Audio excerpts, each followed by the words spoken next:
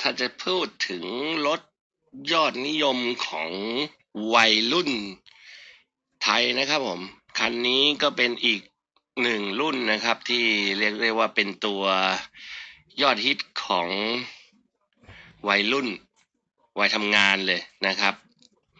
วัยไม่เกินสามสิบนี่รถพวกนี้นี่ เขาจะนิยม เอามาแต่งกันนะฮะ หรือถ้าจะแต่งอยู่แล้ว ก็เอามาแล้วก็มาปรับเปลี่ยนมาปรุงแต่งอะไรหลาย ๆ อย่างที่ชอบนะครับ ไม่ว่าจะเป็นรุ่นสี่ประตูสองประตูอะไรก็แล้ว แต่นะเรียกว่าเป็นรถซิ่งกันเลยแหละครับนะทีนี้ไอ้รถพวกอย่างเงี้ยเนี่ย หลักเบสิกมันเลย ถ้าจะเอามาแต่งมันมีอะไรนะถ้าภายนอกก็สีครับล้อ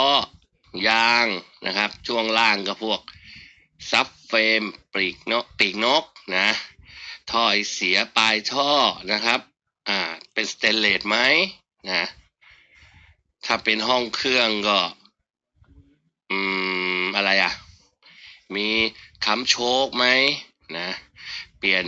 ปลั๊กหัวเทียนไหมเปลี่ยนสายหัวเทียนไหมเพื่อให้รถมันมีกำลังไฟที่ดี เวลาวิ่งเวลาออกตัวเนี่ยมันจะมีพละกำลังเหลือเฟือเลยเรียวแรง นะครับ มหัศจรรย์เลย หรือว่าจะจูนกล่อง จูนลอมนะครับ เปลี่ยนกล่องแบบที่ควบคุมการทำงานของระบบหัวฉีดเครื่องยนต์นะ เปลี่ยนหม้อกองไหม เปลี่ยนหม้อน้ำเป็นสเตนเลสไหมนะฮะเปลี่ยนกองเปลือยไหมกองก็มีหลายทรงนะครับ กองเห็ดนี้นะกองตัวหนอน หรือท่อสเตนเลส นี่นี่คือหลักๆเลยนะครับ ปกติของแต่งรถซิ่งจะมีอยู่ประมาณ 20-30 รายการครับไอทีวีเขาเรียกว่าเป็นของที่มันเห็นชัดๆนะ ที่เหลือก็งานดีไซน์กันแล้วแต่ชอบนะ พอเข้ามาข้างในอ่าโลบาร์